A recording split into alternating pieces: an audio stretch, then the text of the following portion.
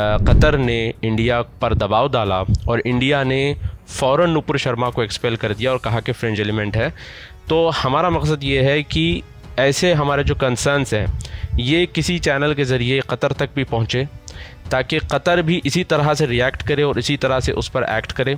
और फिर ये जो मुस्लिम ब्रदरहुड के एलिमेंट्स हैं, ये जो एक्सट्रीमिस्ट एलिमेंट्स हैं जो कतर की सॉइल को यूज़ कर रहे हैं और वहाँ से ये ऑपरेट कर रहे हैं, हम चाहते हैं कि कतर भी इस चीज़ को रोके। अरब्स यहाँ पे रहा करते थे और अरब्स यहाँ पर जो थे, इनको मार मार कर रखा गया था। इनको जो है, कोड़े मार कर इनसे काम करवाया जाता जैसे हम देखते हैं ना जो अंग्रेज़ इंडिया में आए थे तो जो पुरानी फ़िल्में या जो डिस्क्रिप्शन आते हैं कि अंग्रेज़ जो है इंडियंस को मारते थे कोड़ों से और काम करवाते थे, इसी तरह से जो है टर्की की भी हिस्ट्री यही है अरब वर्ल्ड के अंदर कि ये लोग जो है कॉलोनाइज़ किए थे और कोड़े मार मार कर जो है लोगों से अरब से काम करवाते थे। ये तक उन्होंने कहा, हैदर फारूक मौदूदी ने, कि हमारे अब्बा जो है, जो जमात इस्लामी की मीटिंग्स होती थी, इससे हमको ऐसे दूर रखते थे कि मानो कोई चरस बेचने वाला जो है, चरस के बिज़नेस से अपने बच्चों को दूर रखता है। इतने स्ट्रॉन्ग अल्फाज उन्होंने अपने वालद मोहतरम के बारे में कहे। आउट ऑफ़ प्रपोर्शन चीज़ों को ब्लो करके, उसको जो है इंडिया की इकोनॉमी को टारगेट करना या फिर इंडिया की इंडिया के अंदर स्टेबिलिटी को ख़राब करना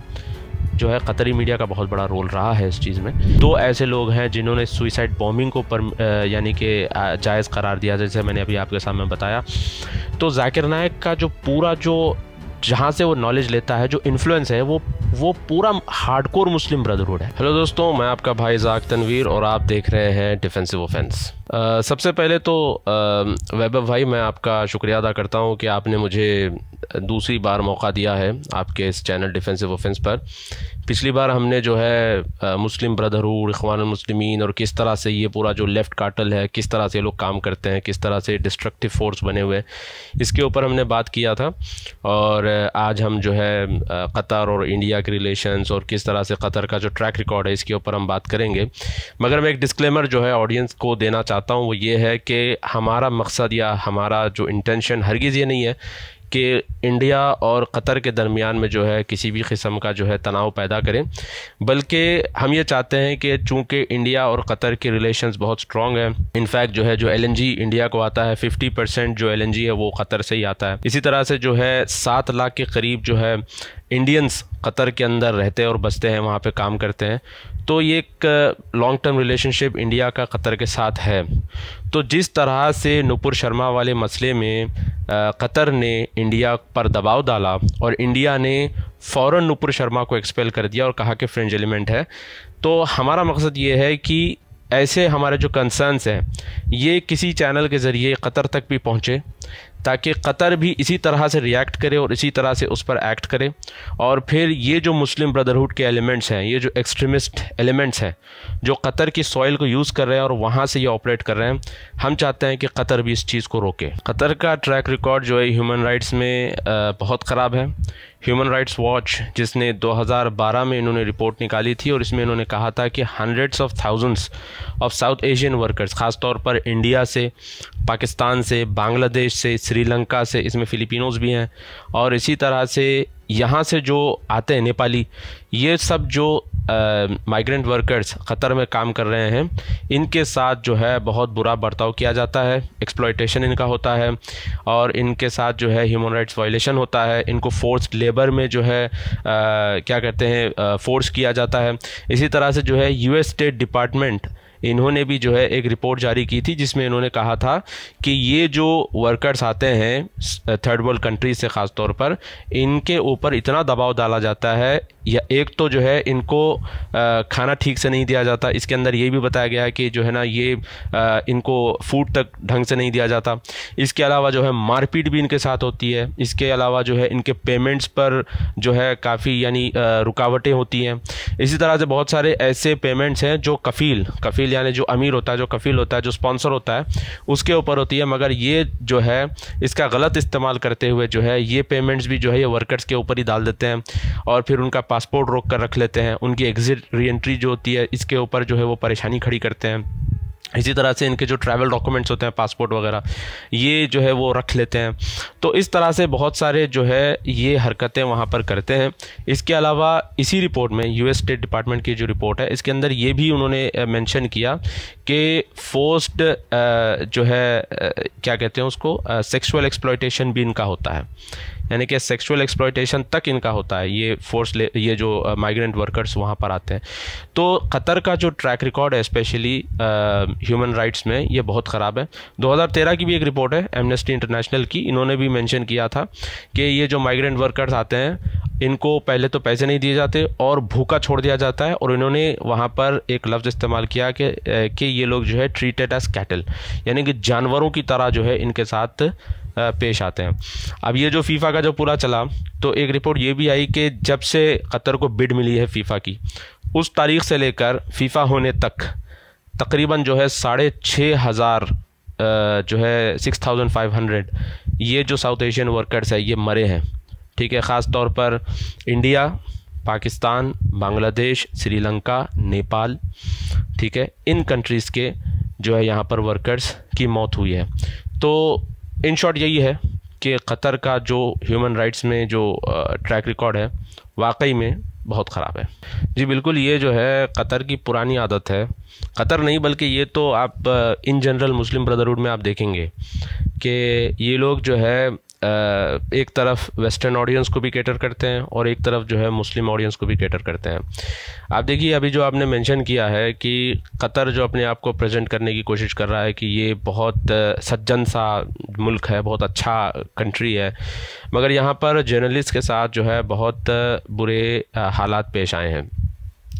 कतर का यही अल जज़ीरा था, जिसने पूरा कशोगी इशू चलाया था और फिर जो है एलिगेशन लगाए थे और जर्नलिस्ट की लाइफ रिपोर्टर्स की लाइफ ये वो करके बहुत बड़ी बड़ी बातें की थी। इनफैक्ट ये जो मुस्लिम जेनोसाइड इन इंडिया वाली भी जो रिपोर्ट है ग्रेगरी स्टैंटन की, ये जो प्रोपागेंडा है इनफैक्ट ये रिपोर्ट नहीं है बल्कि प्रोपागेंडा है तो ये प्रोपागेंडा भी अल जज़ीरा पे ही पब्लिश हुआ था। तो ये अल जज़ीरा, जो कतरी अल जज़ीरा है, ये जो है इस तरह की हरकतों में मुलवस है, यानी कि इस तरह की हरकतें करते आया है। मगर जब बात आती है ख़ुद की तो फिर ये जो है जर्नलिस्ट के साथ जो है, बुरा बर्ताव करते हैं। मिसाल के तौर पे अभी आपने जो मेंशन किया है कि वो जो डेनिश आए थे जर्नलिस्ट उनके साथ जो है कैमरा तोड़ने तक की बात की, ये सच है, ये न्यूज़ हुई है। और इनफैक्ट जो है, इसके ऊपर कतर की जो सुप्रीम कमेटी है, इन्होंने माफ़ी तक मांगी, यानी कि इस हद तक ये न्यूज़ वायरल हुई कि उनको माफ़ी मांगना पड़ा। अगर आप ये इंसिडेंट देखें तो जब वो गया वहाँ पर फ़िल्म फ़िल्म यानी कि वो वहाँ पर वीडियो शूट कर रहा था तो कतरी अथॉरिटीज़ वहाँ पर आए, आकर जो है ना, उसको वहाँ से हटने के लिए कहा, फिर वो उसने अपना कार्ड बताया, उसने अपना फ़ोन नंबर बताया, उसके बाद कैमरा तोड़ने तक की बात आ गई थी। तो फिर ये जब वीडियो पूरी वायरल हो गई ट्विटर वगैरह पर, जब ये न्यूज़ फैल गई, उसके बाद ख़तर ने जो है माफ़ी मांगी। इसके अलावा जो है, अगर आप देखें, पिछले साल नवंबर 2021 में नॉर्वेयन जर्नलिस्ट गए थे कतर में, ये जो माइग्रेंट वर्कर्स की जो अभी हमने बात की है, उनका इंटरव्यू लेने के लिए तो उनको कतरी अथॉरिटी से पकड़ लिया। जाते ही उनको पकड़ लिया पकड़ कर जो है उनको 12-15 घंटे जेल में रखा। जेल में रखने के बाद जो है फिर उनको निकाला निकाल कर अरबिक में कुछ पेपर था, उस पेपर के ऊपर उन्होंने जो है सिग्नेचर ले लिए। और ये भी नहीं बताया कि उसके अंदर क्या लिखा है, क्या नहीं लिखा है। सिग्नेचर लिए और फिर फ़ौर फ़ौर उनको डिपोर्ट कर दिया। तो ये चीज़ हुई है जर्नलिस्ट के साथ कतर में पिछली बार, पिछले साल भी हुआ था, इस फीफा के टाइम पर भी हुआ है। और एक इंटरेस्टिंग बात मैं आपको यहाँ पर बताता हूँ कि अमजद ताहा जो है, जो पॉलिटिकल एक्सपर्ट हैं, जो यूके बेस्ड पॉलिटिकल एक्सपर्ट हैं, इन्होंने इस खबर को हाईलाइट किया कि अल जज़ीरा ने ख़ास तौर पर अपने सारे ब्रॉडकास्टर्स को और अपने सारे जर्नलिस्ट को ये कह दिया कि ईरान के अंदर जो प्रोटेस्ट चल रहे हैं अभी मासामिनी के इन प्रोटेस्ट को कवर नहीं करना है। और इसी तरह से जो है, अगर कोई करता है या फिर ईरान के रिजीम के बारे में भी अगर कोई कोई बोलता है तो फिर उसके ख़िलाफ़ सख्त से सख्त लीगल कार्रवाई की जाएगी। ठीक है, एक लीक डॉक्यूमेंट था अरबिक में, ये वायरल हो गया था।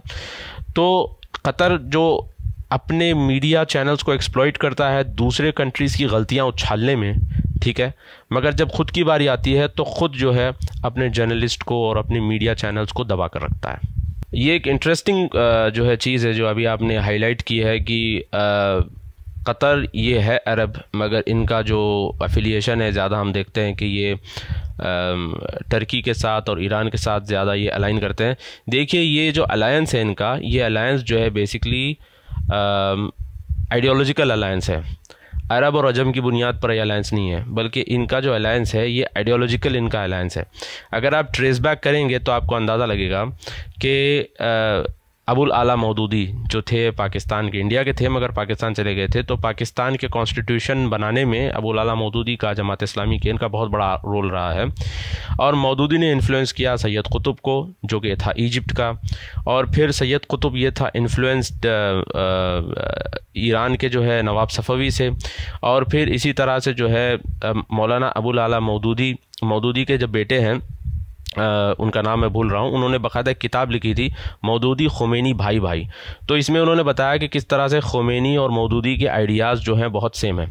इसके अलावा एक और बहुत इंटरेस्टिंग बात है मैं आपको बताता हूँ कि मुस्लिम ब्रदरहुड जो है वो इखवान मुस्लिमीन इनके पास है कॉन्सेप्ट कैलिफेट का यानी कि खिलाफत का। और फिर ईरानियों के पास ख़ास तौर पर जो खुमैनी रिजीम के लोग हैं इनके पास है कॉन्सेप्ट विलायत फ़ी का। तो विलायत फ़ी का कॉन्सेप्ट और कैलिफेट का कॉन्सेप्ट ये ऑलमोस्ट सेम टू सेम है।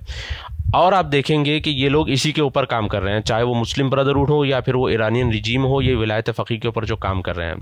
तो चूँकि दोनों के कॉन्सेप्ट सिमिलर हैं तो एक ना एक जगह पर आकर ये दोनों मर्ज हो जाते हैं और दोनों मिल जाते हैं। अभी जो मैं अभी बात कर रहा था आपके सामने, मौदूदी की, मौदूदी ने किस तरह से इन्फ्लुएंस किया था, फिर मौदूदी का खुमैनी के साथ कैसा जो है अफिलिएशन था, उसकी आइडियोलॉजी के साथ कैसा अफिलिएशन था, फिर इसी तरह से सैयद कुतुब जो मुस्लिम ब्रदरहुड का था, फिर फिर आप देखेंगे कि मौदूदी की जब डेथ हुई तो मौदूदी की डेथ पर जो फ्यूनरल जो नमाज़ जनाजा जिसे कहते हैं फ्यूनरल प्रेयर्स ये पढ़ाने के लिए यूसुफ करदावी गया था। तो यूसुफ करदावी को पना किसने दी? कतर ने। और रिसेंटली जब उसकी डेथ हुई तो वो कतर में ही था। तो डेथ तक वो कतर में ही था। तो आप देखेंगे कि पूरा एक जो जो अब नेटवर्क आप देखें या फिर जो आप अंदाज़ा लगाइए, ये पूरा जो इनका कनेक्शन है, ये पूरा का पूरा कनेक्शन जो है, ये आइडियोलॉजिकल कनेक्शन है। ठीक है? और इसके अलावा आप देखेंगे कि यही एक बहुत बड़ा मुद्दा रहा है जो 2017 में ब्लॉकेड हुआ था। आ, क्या कहते हैं सऊदी अरब इजिप्ट बहरीन इन सबने जो है जो ब्लॉकेड लगाया था कतर के ऊपर इस ब्लॉकेड में सबसे बड़ा जो पॉइंट था वो यही था कि जो टर्किश ट्रूप्स जो है वहाँ पर क़तर के अंदर इनको एक्सपेल किया जाए। देखिए टर्की की भी जो है मिडिल ईस्ट के अंदर बहुत गंदी हिस्ट्री है। इन्होंने कॉलोनाइज़ किया था बाकायदा अरब अरब वर्ल्ड को। मक्का, मदीना को इन्होंने कॉलोनाइज करके रखा था। और यहाँ पर जो है, आप देखेंगे कि टर्की के अंदर इस्तंबुल के अंदर बड़े बड़े पैलेसेस जो है बन रहे थे। हीरे जवाहरात के पैलेसेस वहाँ पर बन रहे थे। और फिर दूसरी तरफ़ जो है मक्का और मदीना जो मुसलमानों के होली प्लेसेस हैं, ये दो होली प्लेसेस जो है खंडर बने हुए थे। यहाँ पे जो है डेवलपमेंट नहीं था। और जो अरब्स यहाँ पे रहा करते थे और अरब्स यहाँ पर जो थे, इनको मार मार कर रखा गया था। इनको जो है, कोड़े मार कर इनसे काम करवाया जाता जैसे हम देखते हैं ना जो अंग्रेज़ इंडिया में आए थे तो जो पुरानी फ़िल्में या जो डिस्क्रिप्शन आते हैं कि अंग्रेज़ जो है इंडियंस को मारते थे कोड़ों से और काम करवाते थे, इसी तरह से जो है टर्की की भी हिस्ट्री यही है अरब वर्ल्ड के अंदर कि ये लोग जो है कॉलोनाइज़ किए थे और कोड़े मार मार कर जो है लोगों से अरब से काम करवाते थे। अब तो ये हुआ कि जब नाइनटीन में इनकी कैलिफेट गिर गई, फिर जो है रेवोल्यूशन हुआ, जो हाशमी फैमिली थी, इन्होंने रिवोल्ट किया, फिर उनको हटा दिया तो उनका पावर पूरा ख़त्म हो गया। उसके बाद जो है लेजिटिमेसी फिर वापस जो है अरब्स के पास आई, क्योंकि ज़ाहिर सी बात है कि प्रॉफिट मोहम्मद सल्लल्लाहु अलैहि वसल्लम, ये ख़ुद अरब थे तो मक्का, मदीना जो है ये अरब्स के पास होना चाहिए। तो वापस जो है ये अरब्स को मिल गया, वरना जो है टर्की ने इनके ऊपर इन दो प्लेसेस के ऊपर कब्ज़ा मार के रखा हुआ था। अब इसके अलावा अगर आप देखेंगे कि टर्की के जो है ना, यहाँ पर एम्बिशंस भी हैं। टर्की के एम्बिशंस ये भी हैं कि ये वापस जो है, अपना कब्ज़ा जो है मक्का मदीने पर करना चाहता है।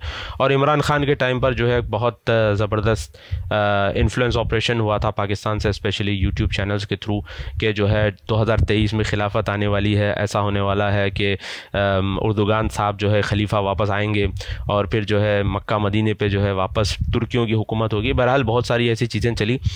तो ये इन्फ्लुएंस ऑपरेशंस तो एक तरफ़ चल रहे थे, दूसरी तरफ़ उर्दुगान के कुछ इस तरह से एम्बिशंस थे और हैं अभी भी। ये अलग बात है कि अभी उर्दुगान की हालत ये नहीं है कि वो इस इन एम्बिशंस को परसू कर सके, मगर उर्दुगान उर्दुगान हो या मुस्लिम ब्रदरहुड हो, वो लोग इन एम्बिशंस को परसू करते हैं इंटरनली सीक्रेटली और, कतर के अंदर जो है, तकरीबन तीन हज़ार टर्किश ट्रूप्स हैं, एक ब्रिटिश बेस है वहाँ पर, जो दोहा से पंद्रह मील की दूरी पर है। इस ब्रिटिश बेस को अबैंडन ब्रिटिश ब्रिटिश बेस है। यहाँ पर जो है टर्किश जो है सोल्जर्स रहते हैं और इसी तरह से जो है 2017 में, जून 2017 में बहरेन ने ये विवाद किया था ऑब्जेक्शन बहरेन ने किया था कि कतर के अंदर जो टर्किश सोल्जर्स हैं, इसकी वजह से जो है मिलिट्री एस्केलेशंस हो सकती हैं। तो इन्होंने ये मुद्दा रखा था। तो बहरहाल आप देखेंगे कि कतर का जो इंक्लिनेशन रहा है, जैसे मैंने अभी आपके सामने बताया कि ये आइडियोलॉजिकल इंक्लिनेशन है और इस आइडियोलॉजिकल इंक्लिनेशन की वजह से ये ज़्यादातर जो है, ये ईरान और टर्की की तरफ़ ये ज़्यादातर झुकता है। आपको याद होना चाहिए 2019 में जो है कोलालमपुर समिट हुई थी। जिसके अंदर पाकिस्तान को भी इनवाइट किया गया था। मगर उस टाइम पर जो है इमरान ख़ान की औकात इतनी नहीं थी कि वो जो है अरब और से जो खैरात आती थी पाकिस्तान को और आती है अभी भी, ख़ासतौर पर सऊदी अरब यू से तो उसकी इतनी औकात नहीं थी कि चैलेंज कर सके अरब वर्ल्ड को, ख़ासतौर पर सऊदी यू को। इसलिए इमरान खान नहीं गया, वरना कोलालमपुर में एक समिट हुई थी 2019 में, जिसमें ईरान था टर्की था और कतर था। और महातिर मोहम्मद के अंडर में ये हुई थी, जो मलेशिया का महातिर मोहम्मद है, उसके अंडर में ये हुई थी। और इंटरेस्टिंग बात यहाँ पर यह भी है कि इसमें डॉक्टर जाकिर नायक भी था, ठीक है? डॉक्टर जाकिर नायक ने ख़ुद जो है अपने जो उसका जो ऑफिशियल चैनल्स हैं, वहाँ से उसने बाकायदा तस्वीर भी शेयर की थी कि वो जो तमीम सानी है, इसके साथ वो हाथ मिला रहा है और मिल रहा है और बाकायदा वो इस समिट में भी इन्वॉल्व था। तो इस तरह के जो है ना रिलेशंस इनके बीच में हैं और ये, जैसे मैंने अभी आपके सामने बताया, ये रिलेशन प्योरली आइडियोलॉजिकल रिलेशनशिप है। और एक बात आप यहाँ पे देखिए कि हमास जो है, हमास, ये प्योरली मुस्लिम ब्रदरहुड ऑर्गेनाइजेशन है, जो फ़लस्तीन के अंदर ऑपरेट करता है, ठीक है? और हमास को बैक करता है ईरान खुमेनी रिजीम और हमास को बैक करता है कतर और फिर टर्की तो हमास की बैकिंग में भी जो है ये तीनों इन्वॉल्व है। इनफैक्ट मुझे याद है कि 1989 में आ, थोड़ा सा मैं यहाँ डिविएट हो रहा हूँ। नाइनटीन एटी नाइन में जो कश्मीर में इंसर्जेंसी शुरू हुई थी ये 1979 में जो ईरानियन रेवोल्यूशन हुआ था उसके 10 साल के बाद ये चीज़ें वहाँ पर शुरू हुई। इनफैक्ट रिसेंटली जो मूवी आई थी कश्मीर के ऊपर उसमें एक एक सीन भी बताया गया जिसमें खुमैनी की तस्वीरें लेकर जो है जो टेररिस्ट होते हैं, वो लोग खुमैनी की तस्वीरें लेकर वहाँ पर ठहरे रहते हैं। तो ईरान, जहाँ जहाँ ईरान इन्वॉल्व हुआ, वहाँ पर मुस्लिम ब्रदरहुड भी स्ट्रांग हुआ। अब कश्मीर का ही आप एग्जांपल ले लीजिए, यहाँ पर ईरान जैसे ईरान जैसे इन्वॉल्व है, वहाँ पर मुस्लिम ब्रदरहुड भी बहुत स्ट्रांग है। आप फ़लस्तीन के अंदर देख लीजिए, जहाँ पर हमास को ईरान बैक करता है तो मुस्लिम ब्रदरहुड भी वहीं पर स्ट्रांग है। और आप यमन में भी देखिए हूसी जो है, ये ईरान बैक्ड है और लेबनान में भी देख लीजिए आप हेजबल्ला ये भी ईरान बैक्ड है। जहाँ जहाँ भी देखिए आप के कॉन्फ्लिक्ट्स और प्रॉब्लम्स इसमें ईरान का हाथ ज़रूर होता है और साथ ही साथ इनका अफिलिएशन और इनका कनेक्शन जो है आपको मुस्लिम ब्रदरहुड से ज़रूर मिलेगा। मेरे ख्याल से मौदूदी के बेटे हैदर फ़ारूक मौदूदी या अहमद फ़ारूक मौदूदी, दोनों में से कोई एक हैं जिन्होंने बाकायदा किताब लिखी थी, मौदूदी खुमैनी भाई भाई तो जी हाँ मैं उसी की बात कर रहा हूँ। ये वही किताब है। इनफैक्ट मौदूदी के जो बेटे हैं, हैदर फारूक मौदूदी, इन्होंने बाकायदा मौदूदी की आइडियोलॉजी को एक्सपोज किया और ये तक उन्होंने कहा, उनके वीडियोस यूट्यूब पर मौजूद है, ये तक उन्होंने कहा हैदर फारूक मौदूदी ने कि हमारे अब्बा जो है, जो जमात इस्लामी की मीटिंग्स होती थी, इससे हमको ऐसे दूर रखते थे कि मानो कोई चरस बेचने वाला जो है चरस के बिज़नेस से अपने बच्चों को दूर रखता है। इतने स्ट्रॉन्ग अल्फाज उन्होंने अपने वालद मोहतरम के बारे में कहे। देखिए ये जो फीफा की बिड को ख़रीदने की बात जब जो है ये काफ़ी मशहूर है। एक चीज़ तो ये है कि 2010 में जो इनको बिड मिली थी इसके बारे में बताया जाता है कि फ़ीफ़ा ऑफिशल्स को आ, कुल मिलाकर तीन मिलियन डॉलर दिए गए थे। और इनफैक्ट ये भी बताया जाता है कि उसमें जो तीन यानी कि फ़ुटबॉल एसोसिएशंस थे, जैसे कि कैमरून हो गया और आइवरी कोस्ट हो गया और नाइजीरिया हो गया, ये भी बताया जाता है कि इनको अलग से भी रिश्वत दी गई थी। तो ये एलिगेशंस तो है। अब कतर जो है ये एलिगेशन डिनाई करता है। कतर कहता है कि नहीं भाई ऐसा कुछ नहीं हुआ। बल्कि वो कहता है कि जो है, हमने किसी को पैसे नहीं दिए, रिश्वत नहीं दी। मगर इंटरेस्टिंग बात यहाँ पर यह है कि 22 फीफा एग्जीक्यूटिव ऑफिशियल्स जो थे एग्जीक्यूटिव कमेटी मेंबर्स 22 में से 11 को या तो जो है सस्पेंड कर दिया गया, या तो जो है फ़ाइन लगाया गया उनके ऊपर, या फिर जो है उनको लाइफ टाइम बैन कर दिया गया करप्शन चार्जेस पर। तो ये बात तो है। अच्छा इसके अलावा आप जो अभी जो आपने एक और जो है सवाल पूछा है, वो ये कि जो है अल जज़ीरा जो है, ये अरबिक में एक अलग जो है नैरेटिव चलाता है और इंग्लिश में उसका एक अलग ही नैरेटिव होता है। ये भी जो है बहुत इंटरेस्टिंग चीज़ है। ये सिर्फ़ अलजजीरा की नहीं, बल्कि आपको ये टर्की का जो नेशनल मीडिया है टीआरटी वगैरह, इसमें भी आपको सेम पैटर्न नज़र आएगा। ठीक है? ये लोग क्या करते हैं कि एक तरफ़ ये अरबिक ऑडियंस और टर्किश ऑडियंस या फिर जो मुस्लिम ऑडियंस है इन शॉर्ट मुस्लिम ऑडियंस को भी जो ये सेटिस्फाइड रखते हैं और दूसरी तरफ़ ये लोग क्या करते हैं कि इंग्लिश वर्ल्ड को भी केटर करते हैं। मिसाल के तौर पर जब आया सोफिया का जो यानी कि उर्दूगान ने जो ऐलान किया था कि आया सोफिया को हम मस्जिद बना रहे हैं, उस टाइम पर भी आप देखिए क्या हुआ था कि अरबिक में जो वर्जन चल रहा था वो ये था कि ये पहला स्टेप है अल अक्सा को लिबरेट करने के लिए। ये पहला स्टेप है अल अक्सा को लिबरेट करने के लिए, ठीक है? अब मुसलमानों को ये चूरन बेचा गया। अब जो है, दूसरी तरफ़ जो इंग्लिश वर्ल्ड है या फिर वहाँ पे जो टूरिस्ट आते हैं, उनको क्या बताया गया? उनको ये बताया गया कि हम जो है पीसफुल सोसाइटी हैं इंक्लूसिवनेस में बिलीव रखते हैं तो आइए देखिए आया सोफिया की ब्यूटी देखिए कि कितना खूबसूरत है। ठीक इसी तरह से जो है, फीफा के वक्त अल जज़ीरा के दो अलग अलग नैरेटिव्स हैं। एक अरबिक ऑडियंस के लिए और एक जो है इंग्लिश ऑडियंस के लिए। अब अगर आप ए जी अरबिक उठाकर ए जे अरबिक अगर आप देखेंगे तो वहाँ पर ये बताया गया है कि डॉक्टर जाकिर नायक आए हैं फीफा में। ठीक है? और यही नहीं बल्कि क्या कहते हैं, कतर के बड़े बड़े जर्नलिस्ट ने ये बात कही कि जाकिर नायक वहाँ पर जो है स्पीचेस देने के लिए आए हैं। अब इसमें क्या हो रहा है कि मुसलमान खुश कि भाई वाह, यहाँ पर तो दावत का काम हो रहा है और जो है अज़ाएँ चल रही हैं और फिर जो है ओपनिंग सेरेमनी में कुरान पढ़ी जा रही है। तो एक तरफ़ ये चीज़ बताई गई। अच्छा तो इंग्लिश ऑडियंस को क्या बताया गया? इंग्लिश ऑडियंस को ये बताया गया कि देखो यहाँ पर आप इन्जॉय कर सकते हैं किस तरह से जो है ना फ्रीडम है, किस तरह से ओपननेस है।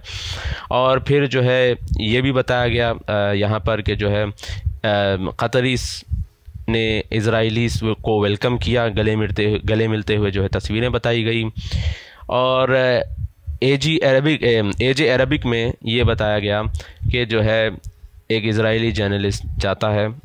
कतरी से इंटरव्यू लेने के लिए और कतरी जो है पलट जाता है और कहता है कि मैं तुमको इंटरव्यू नहीं दूँगा, क्योंकि तुम इसराइली हो। तो अरबिक में ये दिखाया गया कि कतरी जो है, ये इसराइलीज़ को इंटरव्यू नहीं दे रहे हैं। और अल जज़ीरा इंग्लिश में दिखाया गया कि कतरीज जो है ये इसराइलीस को वेलकम कर रहे हैं।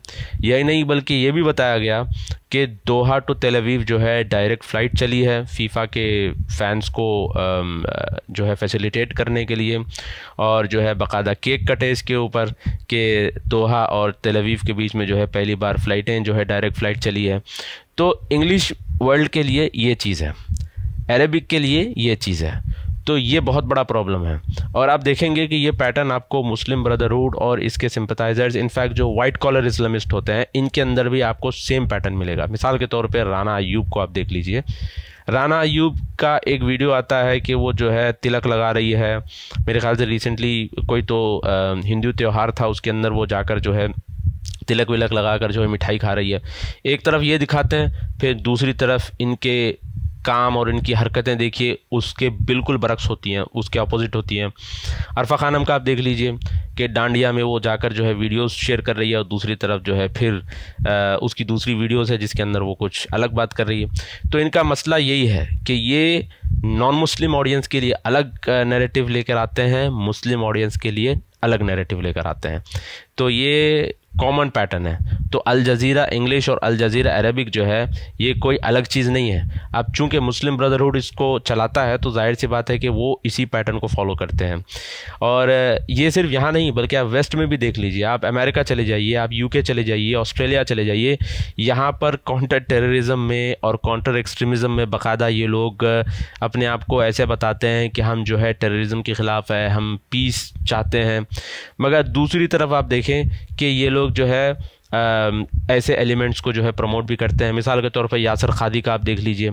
यासर खादी जो है the so called peaceful Muslim America के अंदर है ये, और अपने आप को जो है पेट्रियाटिक बताता है, ये सब बताता है।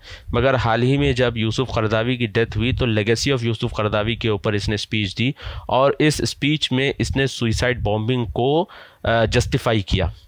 जस्टिफाई किया इसने? और फिर कैसे जस्टिफाई किया इसने?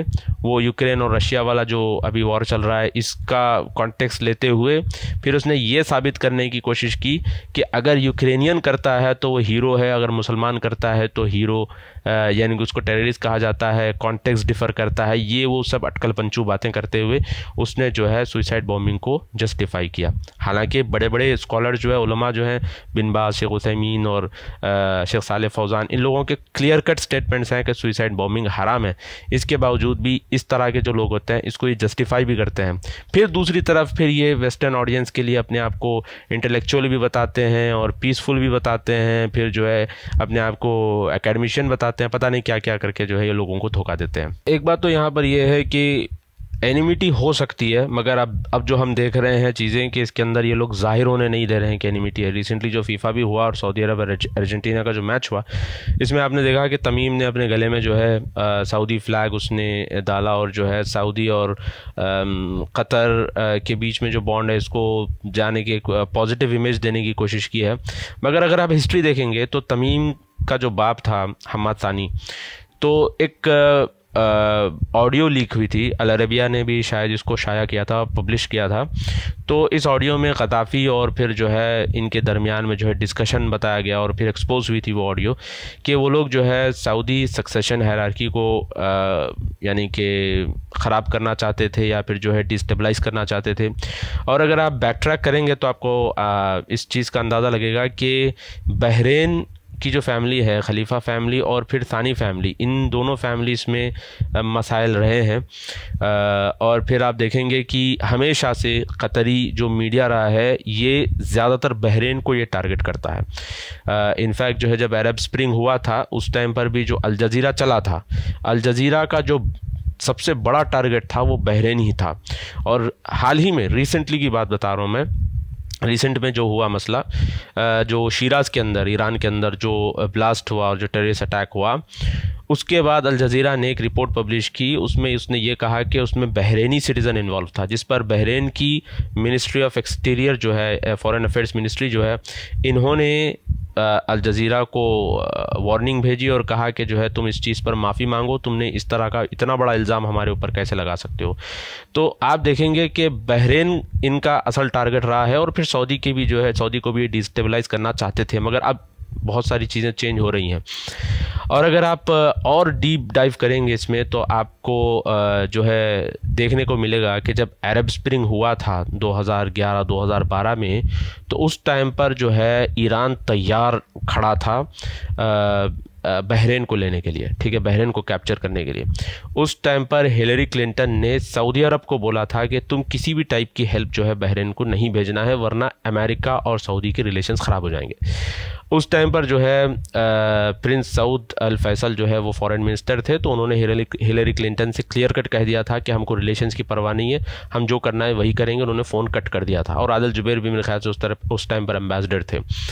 तो उन्होंने दो टोक अल्फाज में कहा था कि हम बहरीन को ऐसे ही नहीं छोड़ेंगे।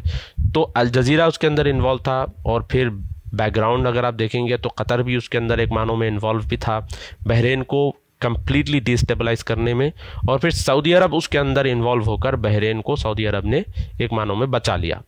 तो ये पूरी जो रेवलरी अगर आप देखेंगे तो पुराना आपको जो है ना इसके अंदर आ, कहीं ना कहीं फूट प्रिंट फूट प्रिंट्स मिलेंगे।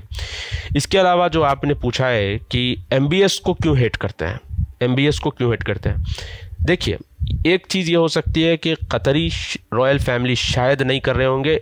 अभी जो हम देख रहे हैं न्यूज़ मीडिया में मगर कतर के अंदर जो इस्लामिस्ट हैं और जो वहाँ के जो इंस्टीट्यूशंस हैं, इस्लामिक इंस्टीट्यूशंस हैं और कतर की यूनिवर्सिटियों में जो प्रोफेसर्स पढ़ाते हैं, ये एमबीएस को एक्सट्रीमली हेट करते हैं। क्यों? उसकी वजह यह है कि एमबीएस ने ये अरब स्प्रिंग के बाद जो है मुस्लिम ब्रदरहुड के ऊपर ज़बरदस्त क्रैकडाउन किया। बहुत ज़बरदस्त क्रैकडाउन जो है एमबीएस ने मुस्लिम ब्रदरहुड के अगेंस्ट में किया। उनका पूरा लिटरेचर बैन हुआ। उनके जितने आइडियोलॉग्स थे, उनको बैन किया गया। और उनकी भाषा बात करने वाले जितने मौलवी इमाम थे, उनको भी जो है पब्लिक स्पीयर से निकाल दिया कि भाई आप छुट्टी ले लो, निकलो इधर से, आपको जो है ये खुतबा उतबा देने की ज़रूरत नहीं है। इसके अलावा आप देखिए कि यूनिवर्सिटियों में जहाँ किताबें तक इनकी मौजूद थी, वो तक इन्होंने निकाल दी। टीचर्स प्रोफेसर जो थे, उनको तक निकाल दिया। यानी कि इतना ज़बरदस्त क्रैकडाउन हुआ। इनके अफिलिएटेड जो इंस्टीट्यूशंस यहाँ पे काम करते थे, उनको भी बैन कर दिया गया। जितनी चैरिटीज़ जो है चैरिटी के नाम पर असल में फ़ंड जाता था मुस्लिम ब्रदरहुड को, और वो चलाने वाले इनकी ही लॉबी थी। मुस्लिम ब्रदरहुड की लॉबी बहुत स्ट्रॉन्ग थी। वो ये सब करते थे। तो चैरिटी के नाम पर पैसा जाता था बाहर सऊदी अरब के। वो एम ने बंद कर दिया।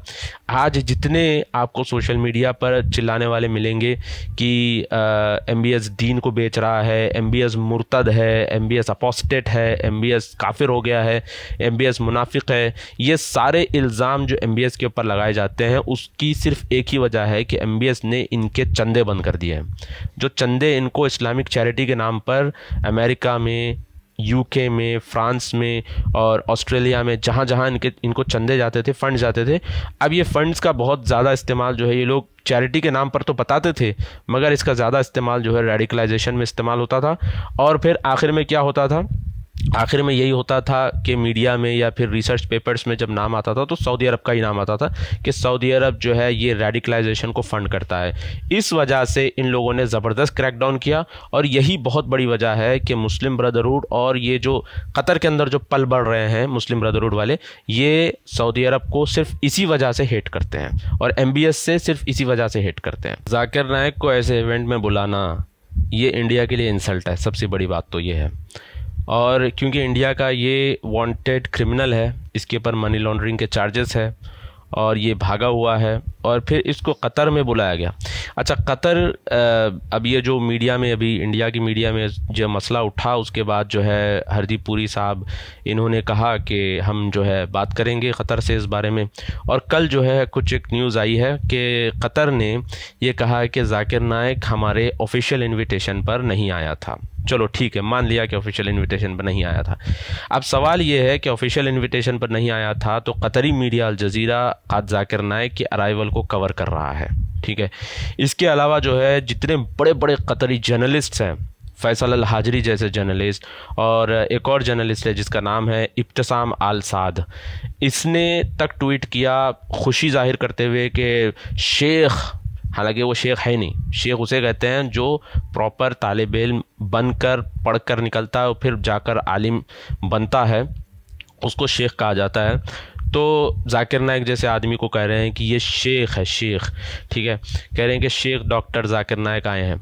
और इब्तसाम आल साद ने आल साद ने ये तक भी मेंशन किया कि उमर अब्दुल काफ़ी भी यहाँ पर मौजूद है।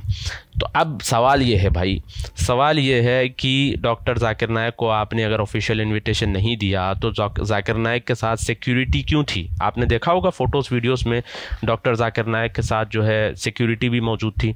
तो सिक्योरिटी मौजूद है। डॉक्टर जाकिर नायक ने खुद अपनी वीडियो पोस्ट की अपने चैनल पर और उमर अब्दुल काफ़ी ने भी वो वीडियो पोस्ट की, जिसमें उमर अब्दुल काफ़ी, जो ख़तरनाक ख़तरनाक मुस्लिम ब्रदरहुड का जो है, ये प्रीचर है। अगर आप इसकी हिस्ट्री देखेंगे तो आपको अंदाज़ा लगेगा कि उमर अब्दुल काफ़ी ने तैमूर अब्दुल वहाब करके एक स्टॉकहोम सुइसाइड बॉम्बर था।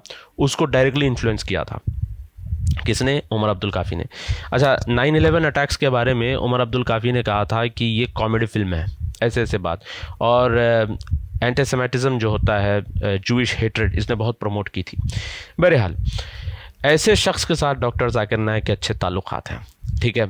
जाकिर नायक की एक वीडियो है, काफ़ी मशहूर है। लोग कहते हैं आउट ऑफ़ कॉन्टेक्स्ट है आउट ऑफ़ कॉन्टेक्स्ट है। मुझे नहीं लगता कि आउट ऑफ़ कॉन्टेक्स्ट है, क्योंकि जाकिर नायक को नींद में से भी उठाकर आप पूछ लीजिए सुइसाइड बॉम्बिंग के बारे में, वो वही मौक़ बयान करेगा, वही पॉइंट ऑफ़ व्यू बयान करेगा। क्या वो कहता है कि शेख सलमा, शेख साल फौजान और शेख उसैमीन शेख बिन बाज, इनके नज़दीक में ये हराम है, जो सऊदी अरब के बड़े स्कॉलर्स गुजरे जिसको किबार उलमा भी कहा जाता है। तो इनके नज़दीक में ये हराम है, ठीक है। अब कहता है, अब इनकी एक पुरानी प्रॉब्लम है, क्या? बट बट लेकर आते हैं, आकर कहते हैं कि one of the greatest scholars Salman Ouda ये कहते हैं कि जंग के हालत में ये किया जा सकता है। हालाँकि पूरे उलमा का इस पर इतफ़ाक़ है कि नहीं किया जा सकता। मगर ये कहता है कि जंग की हालत में किया जा सकता है। अब प्रॉब्लम यहाँ पर यह है कि जितने ये टेररिस्ट होते हैं जितने ये आतंकवादी होते हैं उनके लिए तो सुबह शाम जंग का जंग का हाल ही है। यानी कि वो अच्छी सोसाइटी को भी जंग का माहौल ही सम, समझते हैं दारुल हर्ब भी समझते हैं ठीक है? इंडिया को दारुल हर्ब समझते हैं। वो हर नॉन मुस्लिम गवर्नमेंट को दारुल हर्ब ही समझते हैं। तो ऐसा एक चोर दरवाज़ा खोल देना कि भाई जंग की हालत में किया जा सकता है। तो टेररिस्ट क्या करते हैं कि अब ऐसे चीज़ों को जो है वो जस्टिफाई करते हैं लेकर के भाई हाँ उलमा ने तो परमिशन दे दिया। और ये चीज़ आप देखिए जाकिर नायक का एक और वीडियो है, जिसके अंदर उसने ये भी कहा है कि मेरे नज़दीक इस दौर के जो सबसे बड़े स्कॉलर्स हैं, उसमें से है मोहम्मद अल दिदू। और मोहम्मद अल दिदू जो है, ये टर्किश बेस्ड स्कॉलर है, और ये मोरिटाना में, मोरिटाना के ये गालिबा है तो वहाँ पर जो मुस्लिम ब्रदरहुड की जो, का जो मूवमेंट चला या फिर जो लॉबी चली वहाँ पर, उसमें मोहम्मद अल दिद्दू का, मोहम्मद हसन अल दिद्दू का बहुत बड़ा रोल रहा और इसके पीछे बैकिंग थी कतर और टर्की की। ये दोनों की बैकिंग जो है मोहम्मद अल दिद्दू की थी। तो जाकिर नायक कहता है कि ये आज के दौर का सबसे बड़ा स्कॉलर है और मैं पर्सनली मिलता हूँ इससे टर्की जाकर। उसकी वीडियो है बाकायदा। इसके अलावा जो है आप देखेंगे कि डॉक्टर जाकिर नायक ने मैंशन किया अब्दुल अज़ीज़ तुरफ़ी का नाम। ठीक है, ये भी बैंड स्कॉलर है। और फिर वो मुस्कुराते हुए कहता है कि बहुत सारे ऐसे स्कॉलर्स हैं जो फ़िलहाल जेल में हैं। ठीक है उनसे भी मैं मिलता था, उनसे भी मैं नॉलेज लेता था इल्म लेता था। वो किसकी तरफ़ इशारा कर रहा है? सलमान अहदा और सफ़र हवाली की तरफ़। अब किसी भी सऊदी के सामने या अमराती के सामने सलमान अहदा सफ़र हवाली का नाम लीजिए, वो आपको शक की नज़र से देखेगा। क्यों? क्योंकि ये दो ऐसे लोग हैं जिन्होंने सुइसाइड बॉम्बिंग को यानी कि जायज़ करार दिया, जैसे मैंने अभी आपके सामने बताया। तो जाकिर नायक का जो पूरा जो जहाँ से वो नॉलेज लेता है, जो इन्फ्लुएंस है, वो वो पूरा हार्डकोर मुस्लिम ब्रदरहुड है, ठीक है? इसके अलावा जाकिर नायक का एक और वीडियो है, जिसके अंदर वो ये कहता है कि मैं पाकिस्तान गया, जाके मैंने इसरार अहमद से मुलाकात की और इसरार अहमद से मैं इन्फ्लुएंस हुआ, ठीक है? तो ये है इसरार अहमद से इन्फ्लुएंस्ड और इतना डाई हार्ड फ़ैन है कि ये पाकिस्तान गया इसरार अहमद से मिलने के लिए। और इसरार अहमद था मौदूदी से इन्फ्लुएंस्ड और मौदूदी का तो आप जानते हैं, मैंने अभी कुछ देर पहले आपके सामने बताया कि ये कहाँ कहाँ मौदूदी का इन्फ्लुएंस रहा है इजिप्ट के अंदर अफ़गानिस्तान के अंदर पाकिस्तान के अंदर। तो ये जो पूरा का पूरा प्रॉब्लम है जाकिर नायक को लेकर, ये जो अभी इंडिया के अंदर जो इशू को रेज़ किया गया है, मेरे हिसाब से सही हुआ है ये। क्योंकि अगर इंडिया ऑब्जेक्ट नहीं करता तो फिर इस तरह से जाकिर नायक का आना जाना फिर वो कॉमन हो जाता, आम हो जाता। और हम ये चाहते हैं कि जिस तरह से कतर ने इंडिया को फोर्स किया था नूपुर शर्मा को एक्सपेल करने के लिए तो इंडिया को भी चाहिए कि ये कतर को एटलीस्ट अपने डिप्लोमेटिक टर्म्स को इस्तेमाल करते हुए फोर्स करे कि जाकिर नायक जैसे Muslim Brotherhood hard core preachers जो है वहाँ नहीं आए। और इसी तरह से दूसरे जो आते हैं वहाँ पे मुस्लिम ब्रदरहुड प्रीचर्स वो भी नहीं आए। यानी कि कतर अपनी सॉइल को, अपनी सरजमीन को, अपने इंस्टीट्यूशंस को मुस्लिम ब्रदरहुड से दूर रखे। ठीक है, कतर अब जो सऊदी के बीच में रिलेशंस अच्छे हो रहे हैं, अच्छी बात है, खुशी की बात है।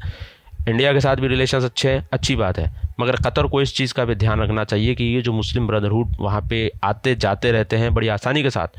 और कतर की सॉइल को इस्तेमाल करते हैं, कतर का मीडिया इस्तेमाल होता है कतर के अलायंसेस को अटैक करने के लिए। सबसे बड़ा टारगेट कतरी मीडिया का कौन है? सऊदी अरब है और इंडिया है। सऊदी अरब तो फ़िलहाल थोड़ा सा डॉर्मेंट हो गया है। मगर आप देखिए कि इंडिया सबसे ज़्यादा जो है कतरी मीडिया का टारगेट होता है।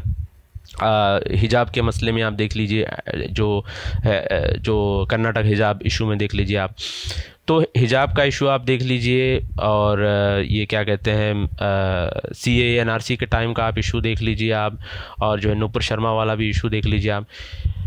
आउट ऑफ़ प्रोपोर्शन चीज़ों को ब्लो करके उसको जो है इंडिया की इकोनॉमी को टारगेट करना, या फिर इंडिया की इंडिया के अंदर स्टेबिलिटी को ख़राब करना जो है कतरी मीडिया का बहुत बड़ा रोल रहा है इस चीज़ में।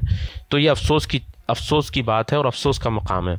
इनफैक्ट कतर को इस चीज़ का ध्यान रखना चाहिए कि कतरी मीडिया और कतरी इंस्टीट्यूशंस इंडिया के अलायंसेस के अलायंसेस को सैबोटाज करने में मुलवस हैं। जी, इसरार अहमद का जो आपने पॉइंट यहाँ पर रेज़ किया है, ये सिर्फ़ इसरार अहमद का ही नहीं, बल्कि हिजब तहरीर का दो, जो तकीुद्दीन नबानी है उसने भी सेम कॉन्सेप्ट को प्रमोट किया था। और ये लोग यही कॉन्सेप्ट को बार बार प्रमोट करते हैं कि जब तक ओटोमन एम्पायर था तो हमारी इज़्ज़त थी फ़लस्तीन में कोई आ नहीं सकता था, और फ़लस्तीन की तरफ़ कोई आँख नहीं उठा के देख सकता था। इसमें क्या कह सकते हैं कि अफसानी कहानियाँ बहुत हैं। अफसानी वाक़ात बहुत हैं इसके अंदर। सबसे पहली बात तो यह है कि अगर आप ओटोमन एम्पायर की सारी सारी हिस्ट्री पढ़ेंगे तो आपको अंदाज़ा लगेगा कि उनका डाउनफॉल जो हुआ, उन्हीं के हाथों से हुआ। यानी कि वो एक तो मिलिट्री उनकी कमज़ोर पड़ गई थी, और दूसरी चीज़ ये है कि वो इस्लाम से भी अच्छा खासा हट चुके थे। ठीक है? तो एक तो ये है, और दूसरा ये है कि सरेंडर ऑफ़ जेरूसलम अगर आप पढ़ेंगे तो आपको अंदाज़ा लगेगा कि जेरूसलम जब यानी कि ब्रिटिश ट्रूप्स वहाँ पे आए थे तो ओटोमन एम्पायर ने ख़ुद जो है ब्रिटिश ट्रूप्स को जेरूसलम सरेंडर किया था। अपने हाथों से सरेंडर किया था। उस टाइम पर तो ना तो आले सऊद थे, उस टाइम पर तो ना तो कोई और अरब कबाइल वहाँ पर थे। ओटोमस ने ख़ुद जो है जेरूसलम को सरेंडर किया था। और यही नहीं बल्कि आप देखेंगे कि यहूदी जब माइग्रेट होकर आए थे स्पेन से फ़र्स्ट एलिया और सेकंड एलिया जब हुआ था तो जब वो माइग्रेट होकर आए थे तो ओटोमन्स ने ख़ुद जो है उनको वहाँ पर इसराइल में और फ़लस्तीन में उनको रहने के लिए जगह दी और उनको वहीं पर बसाया। तो ये सारी बातें जो है, ये लोग ब्लेम गेम करते हैं और इनका पुराना प्रॉब्लम है ये, कि जब भी कोई चीज़ होती है तो ब्लेम खुद के ऊपर नहीं लेते, बल्कि वो सामने वाले के ऊपर डाल देते हैं कि इसकी वजह से हुआ, इसकी वजह से हुआ, उसकी वजह से हुआ। आज हम जो है तरक्की याफ्ता होते थे, आज हम जो है बहुत सक्सेसफुल रहते थे, अगर आल सऊद नहीं आते, अगर जो है इमराती अगर ये नहीं करते, अगर जो है ये ये नहीं होता। अब आप बताइए कि खलीफा उर्दुगान साहब जो है, ये इसराइल के साथ इतने अच्छे रिलेशंस मेंटेन कर रहे हैं, और फिर जो है वहाँ का जो प्रेसिडेंट है, उसको इतना उन्होंने वेलकम किया वहाँ पर और फिर जो बिज़नेस टाइस है, इसको इन्होंने बहाल किया।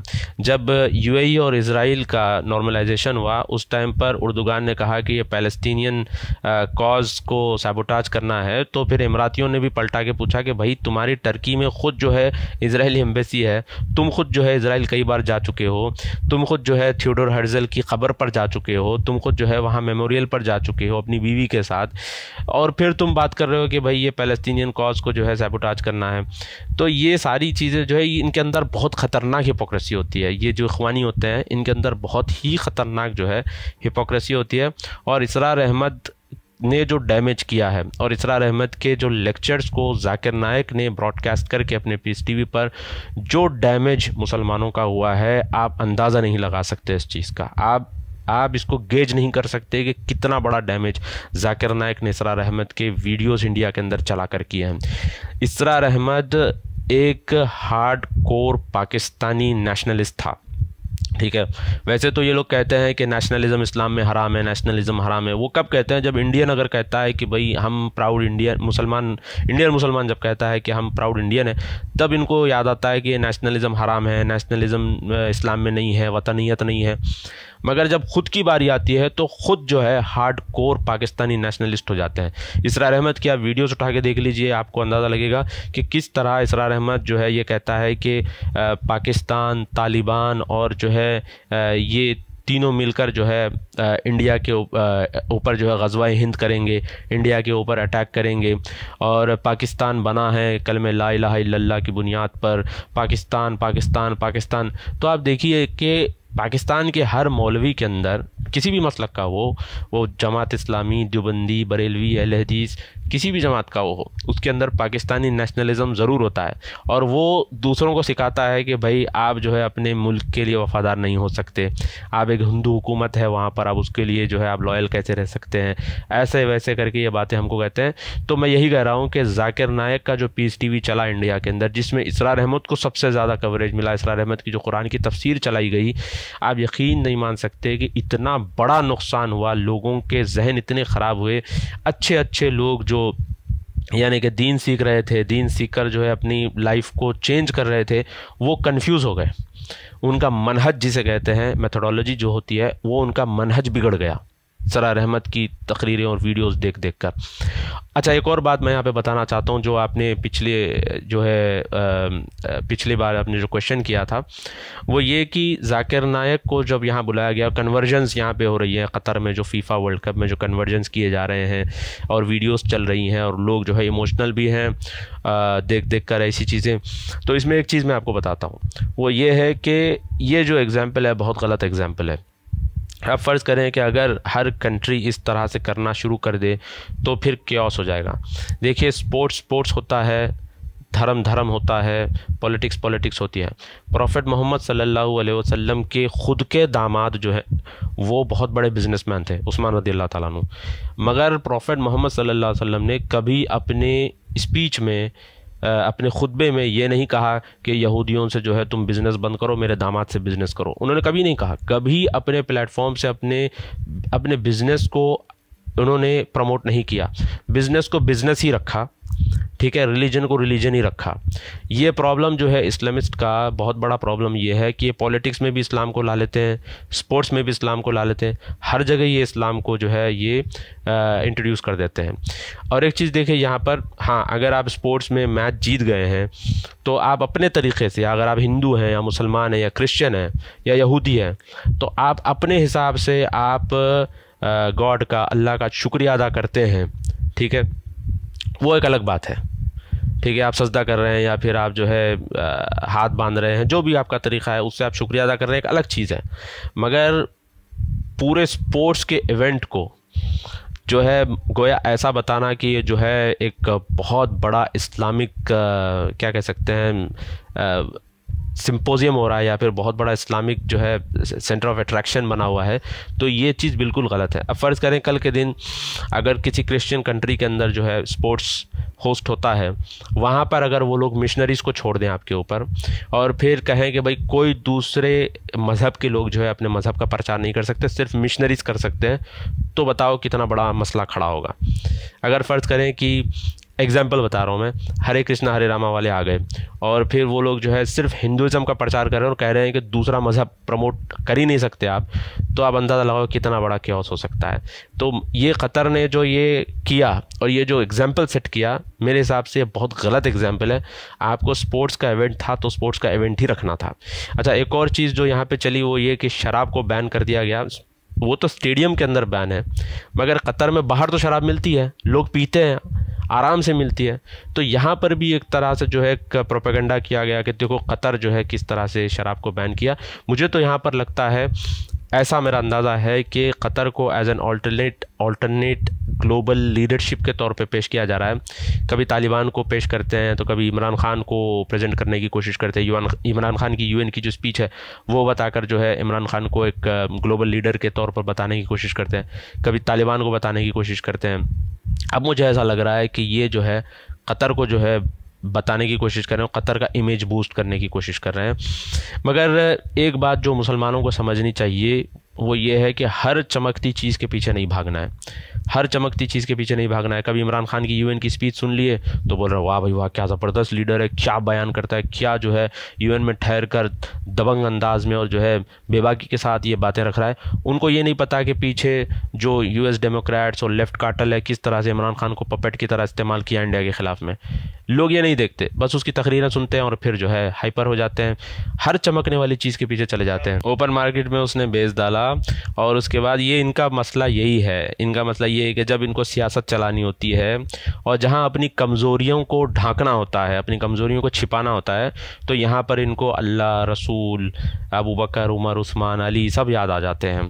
ठीक है, अब जाकिर नायक भी जो भागा हुआ है मनी लॉन्ड्रिंग का केस इसके ऊपर है तो ये सबको क्या चूना लगा रहा है कि भाई मेरे ऊपर ये केस इसलिए चल रहा है क्योंकि मैं जो है मुसलमान हूँ और मैं जो है एक प्रीचर हूँ और मैं जो लोगों के हिदायत का काम कर रहा हूँ। लिहाजा मेरे पीछे हिंदू गवर्नमेंट पड़ी हुई है। इस तरह से ये मज़हब का इस्तेमाल उस टाइम पर करते हैं जब जो है इनको अपनी गलतियाँ या अपने जो है लूप होल्स छुपाना होता है।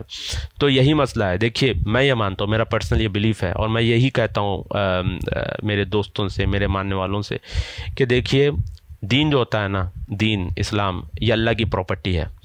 और जो अल्लाह की प्रॉपर्टी अपने पर्सनल गेंस के लिए इस्तेमाल करता है, वो दुनिया में भी जलील होता है, फिर वो ऊपर जाकर भी जलील हो जाएगा। तो जो जो है, उसको वहीं पर रखो, जैसा करना है, उसको प्रैक्टिकल अंदाज में वैसा ही लो। हर जगह इमोशनल होना, हर चीज़ में इमोशनल होना, ये बिल्कुल भी सही चीज़ नहीं है।